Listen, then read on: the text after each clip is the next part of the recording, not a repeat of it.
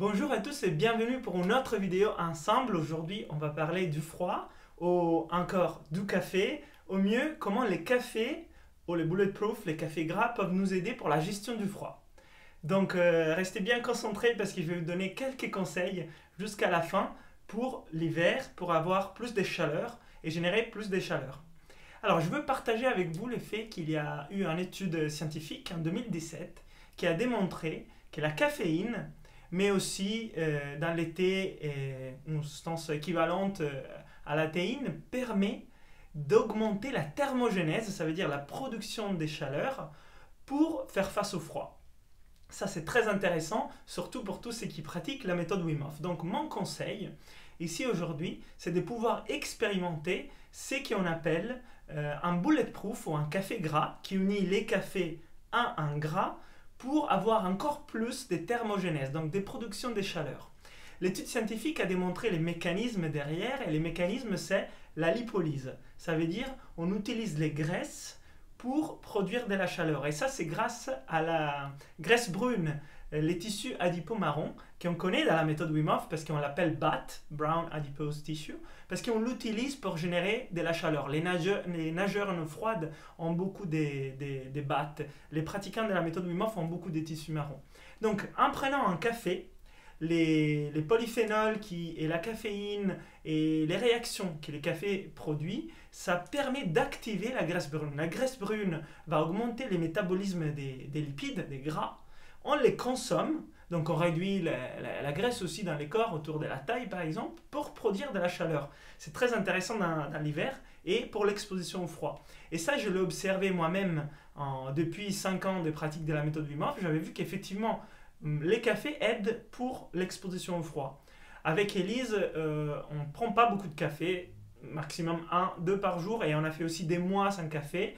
Il faut en boire des qualités et avec modération, surtout si vous ne les digérez pas. Et donc, je ne, les bois pas tout le temps. J'avais vu que pendant les stages l'hiver, l'effet de les boire, ça m'aidait. Et, et, ça m'aidait encore plus si dedans, je mettais des substances un peu graisses, comme par exemple l'huile de coco au euh, les beurres de cacao, au tout court les beurres. Et en fait, les Tibétains ont un thé spécial qui c'est du thé avec du beurre, des yaks, salé, comme vous voulez, mais c'est le même principe. De la caféine ou de la théine avec du gras permet de stimuler la graisse brune, les battes, et produire de la chaleur.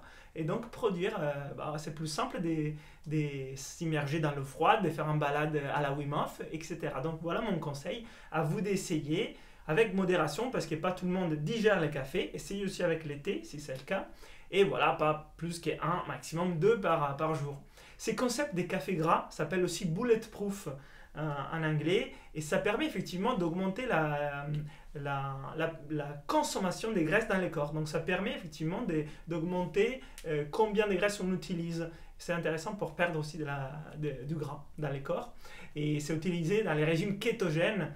Euh, avec Elise, on fait des tests aussi avec ça et effectivement, on l'a introduit pour ça. Et, c'est vrai que ça aide pour le froid. Voilà mon conseil. C'est aussi pratique pour ceux qui font les jeûnes intermittents. Parce que par exemple, les matins, euh, moi je mange pas, normalement je ne prends pas des cafés, mais on peut euh, faire ça en période d'hiver pour stimuler un peu la production des, chaleurs. donc voilà, faire nos exercices avec les froids.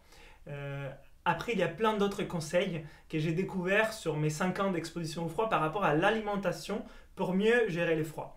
Euh, par exemple, euh, les, gingembre, les cocos, les miels, les jeûnes intermittents, manger plus des graisses et plus des sucres, faire une alternance de ça. On va parler de tout ça dans une autre vidéo et dans nos stages.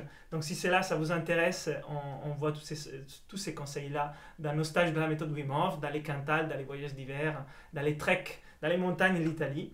Et, mais je voulais partager ça sur les cafés parce que c'est intéressant. Il y a une étude scientifique et, et, voilà, vous de pratiquer, de nous dire qu'est-ce que vous en pensez, si ça vous aide, si vous avez déjà expérimenté, si vous connaissez les bulletproof et ces cafés gras, que c'est un concept assez marrant, hein, mais quand même un peu agréable parce que c'est bon.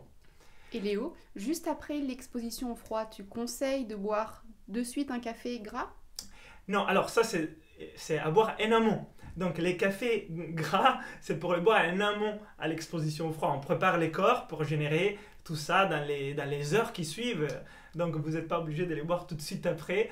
Après une exposition au froid, je vous rappelle de regarder la vidéo que j'ai fait sur les trois étapes d'exposition au froid. Il faut encore être concentré, faire les exercices et produire la chaleur de l'intérieur par les mouvements, la concentration et bah, les métabolismes notamment. Euh, n'hésitez pas donc euh, à liker la vidéo.